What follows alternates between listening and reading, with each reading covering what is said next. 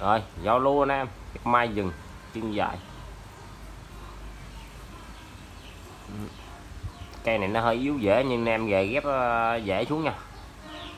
Có mấy cái đầu chỉ trên đó anh em ghép xuống nha. Ở dưới nó có hai đầu dễ à.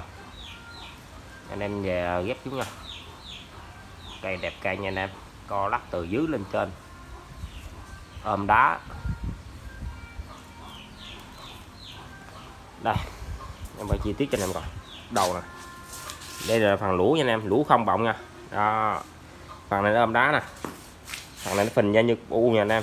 Đầu nó phình ra đã ừ, kẹt đá này nó phình ra nha anh em. Đây nè đây cũng vậy nè. Nó phình ra nè. Ừ, đẹp lắm.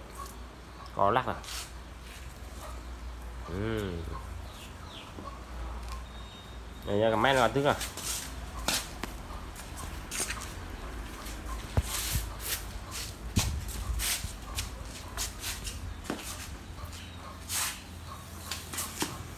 chiều cao chiều cao một mét tư. Chiều cao một mét tư. Hoành ngang đây. Hoành ngang, u đây nè, u dưới nè. 48 hoành trên ờ, cái khúc bự trên. Hoành trên đây là 47 hoành gió ngọn. Mình nhốt ngọn 42 rồi anh em tham khảo nha.